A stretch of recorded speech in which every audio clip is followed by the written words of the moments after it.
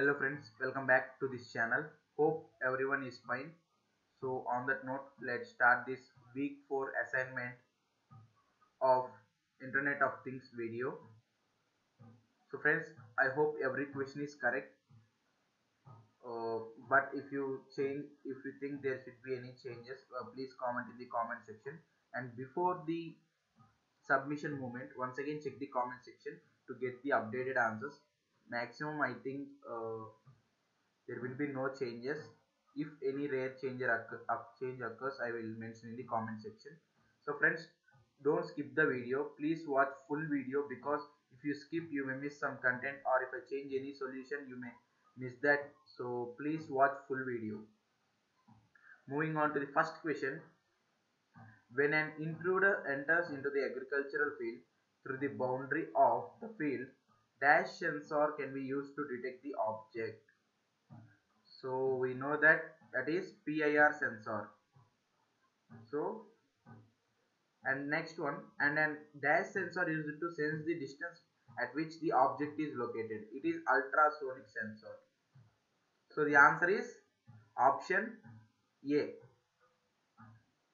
Option A is correct. So mark option A as correct answer for first question and moving on to second one dash is defined as all the nodes are connected in the network so that sense data can reach to sink node. So for second question the correct answer is option b connectivity. So mark the second option as correct answer for second question. Option b and moving on to third question. The objective of coverage in WSN is. So for third question generally we know that we should use minimum number of uh, stuff and we should get maximum uh, duration. The same way in general life and in the sensor uh, topic also we use to use minimum number of sensors and should get maximum network lifetime. So the same way applies here also. So answer is option a.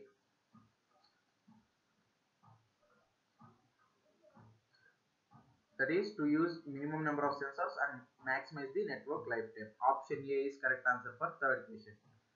And moving on to the fourth one state true or false. The statement one is if this transmission range less than or equal to 2 star uh, sensing range coverage implies connectivity.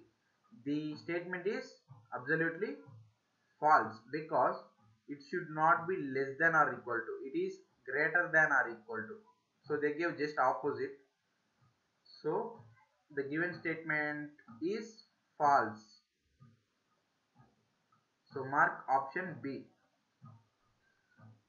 Next moving on to fifth question a mobile entity that, that collects the data from sensor nodes goes to the sink and delivers the collected data from different sensor nodes are called. So it is called data mules so mark option c. And moving on to fifth question human centric sensing is possible because of guys here actually they mentioned two options here. Smartphone and PDS and also miniature proliferation but if you want to see the exact uh, terminology they given the miniaturization and proliferation proliferation of devices gave rise to different types of paradigms. So in that context gave rise to is same as the meaning is possible. So if this matches with this word then b will be the answer. Otherwise both a and b will be the answer as specified in c option. So i'm not sure about sixth question because it is tricky. So if i feel the correct answer i will mention in the comment section. So once again visit this. But i'm not sure at present. So i'm skipping this question. Moving on to seventh one. Which of the following are the roles played by humans in human centric sensing? So for seventh question the answer is option d all of these. So mark option d. Moving on to the eighth question which of the following is not not a goal of participatory sensing? Guys they are already given uh, that it is not um, not just collect data but allow common people to access data share knowledge. But they are asking not the goal so it is not the answer. So it is the answer and also only it is not directly mentioned to only access data but it is implied by this statement that it is not only to access but also to share so i think a and c both will be the answers. So i'm going with option d. Both a and c will be the answer i think. But they just directly mentioned only option a there in the lecture. But option c may also be implied based on the option b. So option d i'm going with option d. If you are thinking the other uh, please comment in the comment section. Moving on to ninth question the po two popular network topologies in uav networks are so for ninth question the answer is option b mesh and star. Guys except first and eighth uh, sixth and eighth questions everything is sure. So mark option b for ninth question. Moving on to the 10th one which of the following is not an issue in uav networks? So for 10th question the answer is option a. Slow change in network topology. So mark option a as correct answer for 10th question. And moving on to 11th one. The scalability in single UAV system as compared to multi UAV system. So they're asking about the single one, single UAV. So it is limited. So mark option A. And next one, 12th one, typical types of mesh networks in UAV networks are.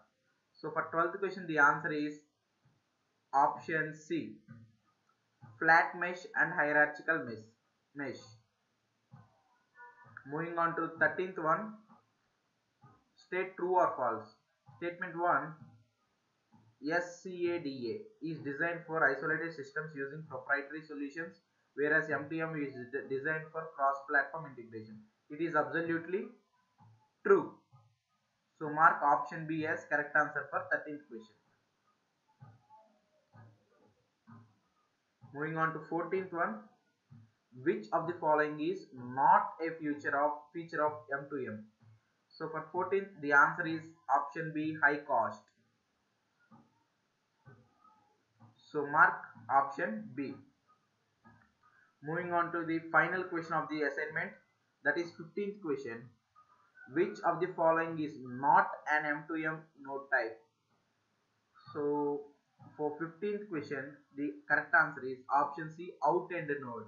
This does not exist, so it is the correct answer for 15th question.